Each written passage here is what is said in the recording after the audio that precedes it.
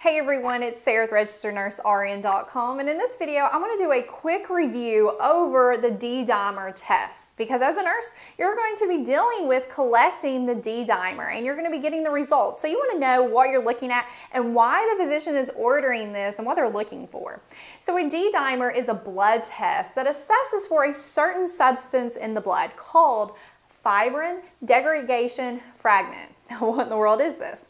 Well, this is a protein fragment that actually will start to hang out in the blood when there's a clot in the blood that starts to break down. So this tips us off that a clot is somewhere in the body. So it's useful in helping us diagnose blood clots and DIC, disseminated intravascular coagulation.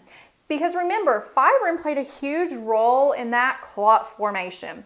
Because whenever we talked about in our DVT video, we talked about how a blood clot forms. You have platelets that come there to seal off the area, which recruits clotting factors, and clotting factors create fibrin. And fibrin was the one that really causes the big trouble because it's like a strand-like mesh and it gets together and it collects red blood cells, white blood cells, and even more platelets, and it clumps it together, and then we get a clot. So the D-dimer can help assess for that protein fragment.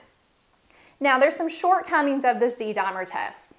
Number one is it doesn't really tell us where that clot is located in the body. And you can have false positives where the D-dimer is high, but the patient doesn't necessarily have a blood clot. And this is because of maybe a disease process that's going on in the patient, like liver disease, cancer, um, myocardial infarction, after heart surgery, or even pregnancy can cause a high D-dimer. So keep that in mind. So if your patient has a high D-dimer, it needs to be investigated by the physician to really rule out what's going on. Now, what is a normal D-dimer result?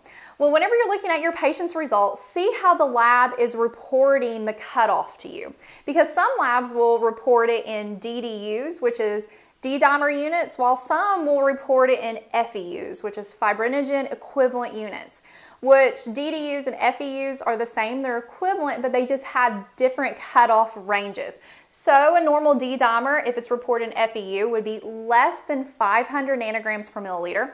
And if it's reported in a DDU, it would be less than 250 nanograms per milliliter. So anything higher than these cutoffs would be considered a positive D-dimer that would need to be investigated. Okay, so that wraps up this review over the D-dimer test. And don't forget to check out my other reviews in this series.